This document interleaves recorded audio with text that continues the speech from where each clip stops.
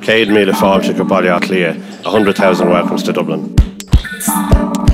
Co-working has been changing the world as a whole for the last 10 years. Wow. Yeah.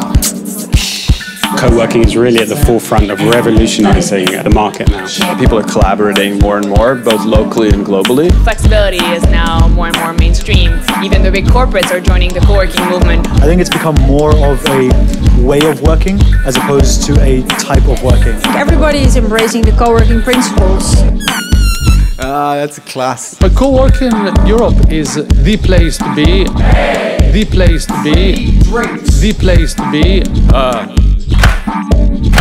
the place to be.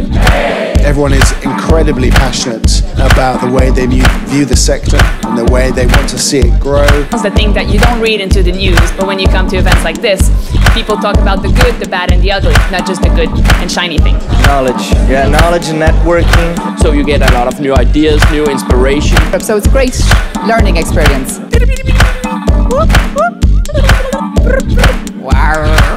Coming here and being part of a community of people who run communities is a great way for people to make sure that they're always at the forefront of how to look after their members and look after their members' happiness. It's a celebration of what co-working will do next.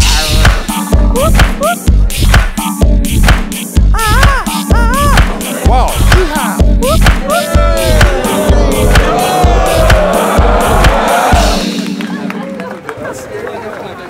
Ainda Música biotrônica.